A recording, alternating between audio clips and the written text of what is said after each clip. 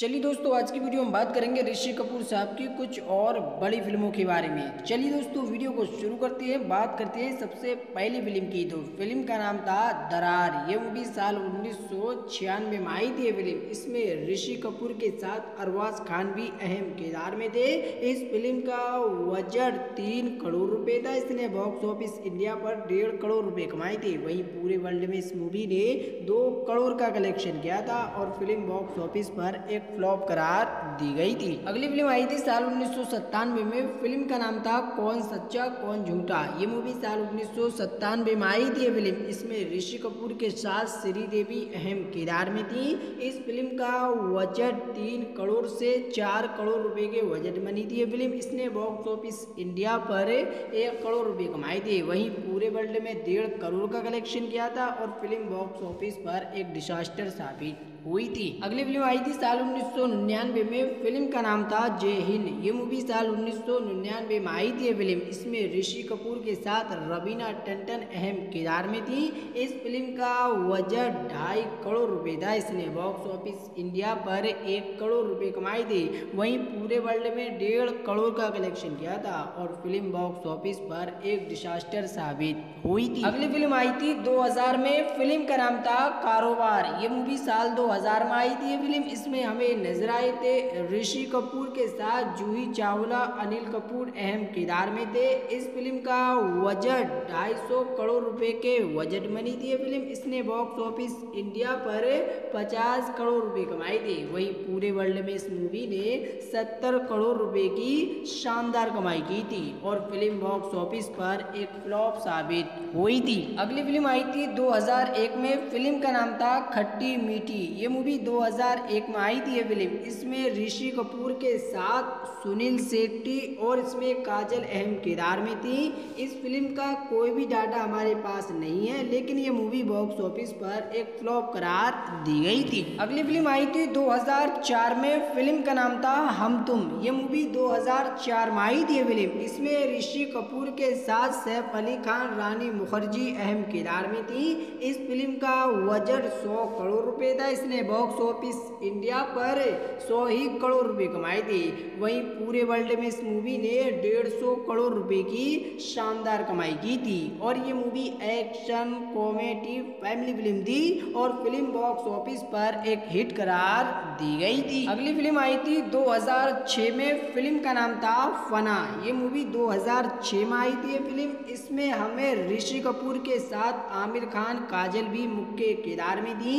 अगर हम बात बात करें इस फ़िल्म के बॉक्स ऑफ़िस कलेक्शन के बारे में तो इस फ़िल्म का बजट 50 करोड़ रुपए के बजट बनी थी फ़िल्म। इसने बॉक्स ऑफ़िस इंडिया पर 100 करोड़ रुपए कमाए थे। वहीं पूरे वर्ल्ड से इस मूवी ने डेढ़ सौ करोड़ रुपए से ज़्यादा का कलेक्शन किया था। और ये movie action comedy family film थी और फ़िल्म बॉक्स ऑफ़िस पर एक सुपर डुपर हिट करार दी गई थी। अगली फ़िल्म आई थी सन 2009 में। फ़िल्म का नाम था चिंटू जी। ये मूवी सन 2009 में आई थी ये फ़िल्म। इसमें ऋषि कपूर अहम किरदार में थे। इस फ़िल्म का जो बजट था, वो तकरीबन 102 करोड़ रुपए के बजट बनी थी ये फ़िल्म। इसने बॉक्स ऑफ़िस इंडिया पर 50 करोड़ रुपए का कलेक्शन किया था। वही दुनिया भर से इस मूवी ने 45 करोड़ रुपए कमाई थी। और ये movie action comedy family film थी। और फ़िल्म बॉक्स ऑफ़िस पर एक डिजास्टर करार दी गई थी। अगली फ़िल्म आई थी सन 2009 में। फ़िल्म का नाम था दिल्ली सिक्स। ये मूवी सन 2009 में आई थी ये फ़िल्म इसमें ऋषि कपूर के साथ अभिषेक बच्चन अहम किरदार में थे। इस फ़िल्म का बजट जो था, वो पता नहीं चल पाया, लेकिन इसने बॉक्स ऑफ़िस इंडिया पर 40 से 45 करोड़ का कलेक्शन किया था। वहीं दुनिया भर से इस मूवी ने 30 करोड़ का कलेक्शन किया था। और फ़िल्म बॉक्स ऑफ़िस पर एक फ्लॉप करार दी गई थी। अगली फ़िल्म आई थी सन 2010 में। फ़िल्म का नाम था दो दूनी चार। ये मूवी सन 2010 में आई थी ये फ़िल्म। इसमें ऋषि कपूर अहम किरदार में थे। इस फ़िल्म का बजट 50 करोड़ रुपए था। इसने बॉक्स ऑफ़िस इंडिया पर 100 करोड़ रुपए कमाए थे। वहीं पूरे वर्ल्ड में इस मूवी ने डेढ़ करोड़ रुपए की शानदार कमाई की थी। और ये movie action comedy family film थी। और फ़िल्म बॉक्स ऑफ़िस पर एक हिट हिट करार दी गई थी। अगली फ़िल्म आई थी सन 2011 में। फ़िल्म का नाम था पटियाला हाउस। ये मूवी सन 2011 में आई थी ये फ़िल्म इसमें ऋषि कपूर, अक्षय कुमार अहम किरदार में थे। बजट इस फ़िल्म का बजट 108 करोड़ रुपए था। इसने बॉक्स ऑफ़िस इंडिया पर 50 करोड़ रुपए कमाए थे और फ़िल्म बॉक्स ऑफ़िस पर एक फ्लॉप करार दी गई थी। अगली फ़िल्म आई थी सन 2012 में। फ़िल्म का नाम था अग्निपथ। ये मूवी सन 2012 में आई थी फ़िल्म इसमें ऋषि कपूर के साथ ऋतिक रोशन और इसमें दत्त भी अहम किरदार में थे।